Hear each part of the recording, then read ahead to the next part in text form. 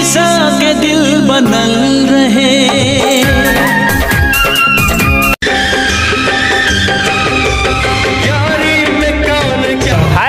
आपका स्वागत है नए एक और ब्लॉग में। तो आज का ब्लॉग मेरा बनने वाला है सर्कस पे। तो आज हम चल रहे हैं सर्कस को देखने।